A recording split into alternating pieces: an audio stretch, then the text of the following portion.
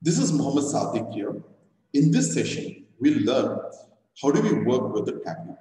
So before we start into our Tableau, we'll try to understand what exactly is the Tableau. So when I talk about Tableau, Tableau is one of the very powerful business intelligence tool. Okay. Now, what do you mean by business intelligence? Business intelligence is nothing but a process of converting a very large data into a meaningful output. So where when you have some very complex data, it becomes very difficult to get the uh, what is the information from that or to understand that particular data. So with the help of this particular BI tools, we can convert the data into a format where it becomes very easy to understand, very easy to create a report. Okay, it's very easy to predict, do the predictions based on that particular data. So maybe like, you know, I want to create the data in a Tableau format or in the, help of the uh, graph.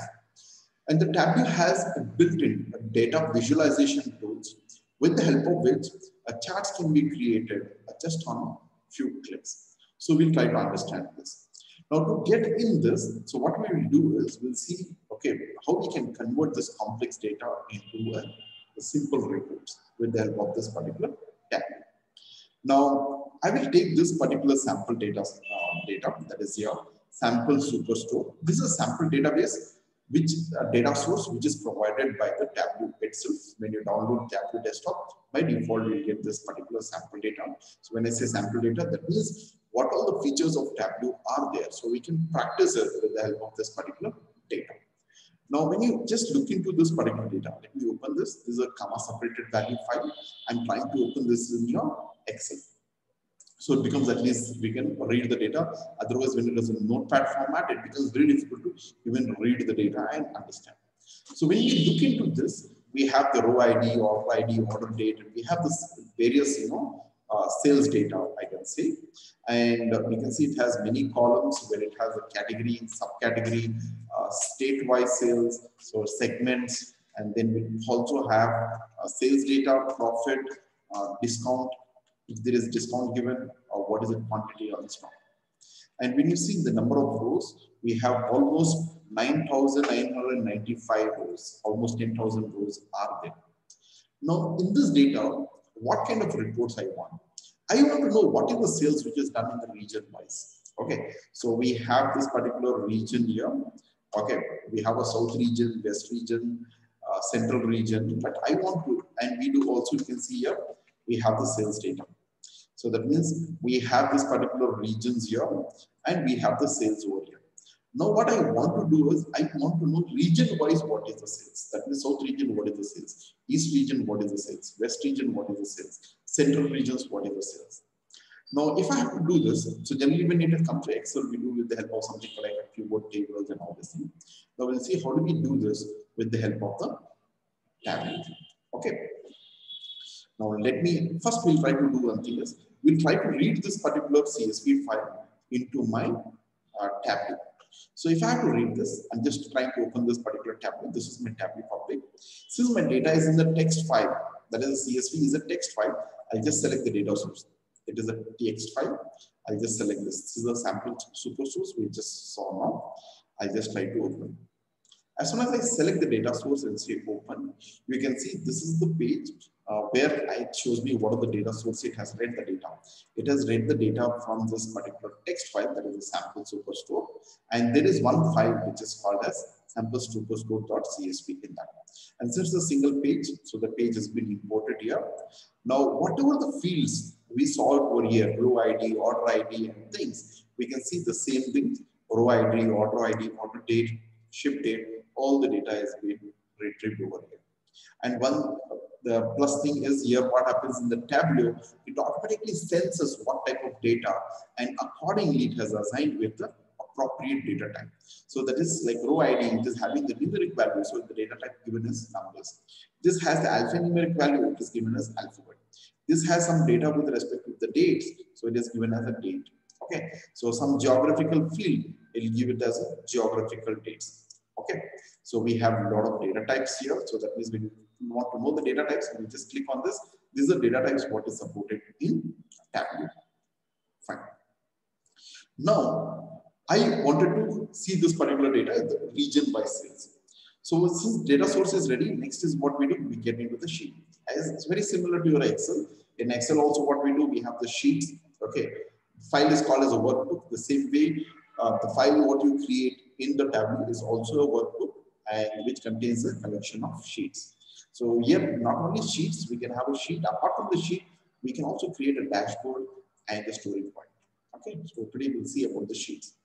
Let me get into this particular sheet.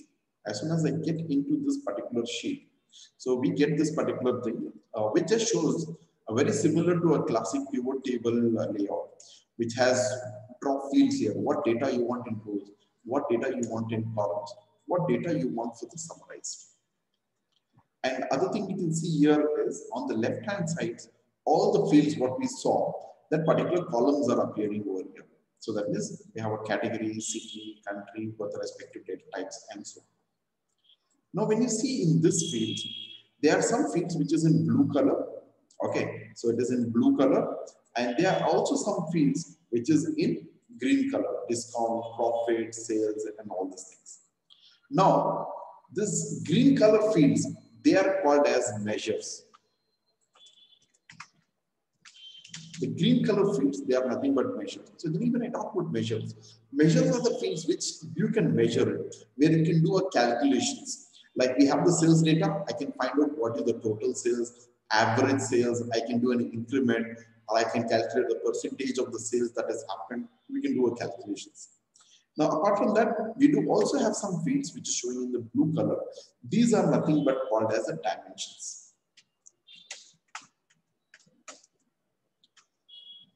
Now, when I talk about the dimensions, dimensions are the fields which you cannot do a calculations, but we mainly use for the grouping. Now, I want to know what is the sales which has happened in the region wise. Now, I'll select region is a, a dimension, which is we are trying to group all the south will become as one region, all the central will become as one region. Region wise, I want to know what is the total sales that has happened. So sales will be done as measurable. So by default, all the fields like it might be a region, category, subcategory, state, country, and all. So the data based on which we can do the grouping. So that has been taken as a dimensions. The fields on which you can do a calculations that has been considered as a measures. Now, since I wanted the total sales for the region wise, I will just select the region here. I just selected the region. As soon as I select the region, you can see by default, this region is added to the rows. And you can see all the regions are appearing. Now, I want to see region wise, what is the total sales? So I'll just select the sales. As soon as I drag the sales here, so you can see it is showing as sales on the labels. That is thing. And you can see we are able to see from the particular total sales. So central region, what is the sales? East region, what is the sales? South region, what is the sales have happened as well as the west region. So it has divided the data into the region wise. You want to cross check this. Let us do this in our Excel. So I can create a pivot table for doing this particular operation. So let me do that. I'll just select, I go to the insert pivot table. I'll just create a new pivot table. I'll just select here is uh, I want to go for the region wise. As soon as I select the region, you can see it has taken data into the rows. Since it was a non-numeric data, it has become the row heading. When I select the sales, you can see by default it has been added to the values with the sum. And when you see here, the central region, what is the sales here? 5 lakhs, 1,293. Fine. Um, so when it comes to the east region, what is the sales here? 6 lakhs, 78,781. So when you see this also, 5 lakhs, 1,240, 6 lakhs, 78,781 East region. South region is 3 lakhs, 91,000. So we can see 3 lakhs, 91,000. Okay, the same data what we saw there. So we are able to. So you want to get the totals. So we have this option like, you know, get into this particular analysis totals. I just say show the grand total. So you can see even total is 22 lakhs 97,201. So when you see here 22 lakhs 97,201, it has been rounded down. Okay, so we are able to get this. Now see, now again what happens is the BI, the business intelligence people, when they have to take a decision, which particular region has done the highest sales, where exactly the other regions stand. I want to do a comparison. They always prefer seeing this particular data in the form of a graph, the charts. Now let us try to create a chart for the same data. Let me open a new sheet here.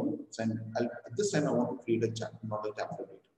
So what will I do is, I just select the sales. As soon as I select the sales, since the sales is my measurable field, so it automatically draws a graph. It says total sales is 2,29,000. Okay. Now, uh, 22 lakhs 97,000. But I want to divide this particular sales based on the region. I just select the region. As soon as I put a region, we can see the data has been divided into the region. So here I can easily come to know that, oh, West region has done the highest sale, South region has done the very worst sale. Okay. Uh, now what I want to do is I want to show the values, the actual values, how much of sales this each region has been done. So I'll let me fill it. So I'll just make this as entire view. So where I can see this particular company, this one. Um, now what I do is, or I can have a standard and uh, I can expand this.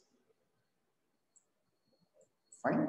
Now I want to put the uh, values, what are the actual sales. I just select the sales, I add into the labels. As soon as I add to the labels, you can see it shows me the actual sales that is being done. Okay, so now one thing is here also I took the sales and the region. In the previous sheet also I took the sales and the region. But here what I did is first I selected a measure, then I selected a dimension. When you select a measure first and the dimension, so the Tableau has something called as a built-in data visualization tool. It senses as soon as you select a um, measurable field first, okay, it senses that, okay, it has to draw a chart. So it creates a chart for that. But when you select a dimension, so dimensions with the dimension, you cannot create a graph. We need some measurable field, some kind of values. So based on which we create a chart. So there it tries to create a tabular data, cross tab data. Fine. Now, here, if you want, okay, so I think this is uh, what about your, uh, uh, what is it, Tableau. So we can create a lot of interactive charts. Okay, we can create a dashboard. Okay, a lot of things can be done with the help of this one. So which I will come up with the next uh, sessions, next video session. Thank you. Thank you for watching.